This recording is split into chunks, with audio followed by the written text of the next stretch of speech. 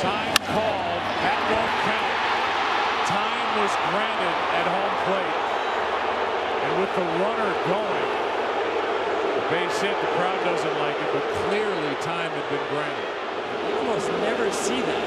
Where time is called, the hitter goes ahead and swings the bat. He's yelling time, time, time, time. He's got it. But we saw this the other day. You go ahead, if you get the pitch, you swing. It's so loud in hear the umpire say time as close as he is.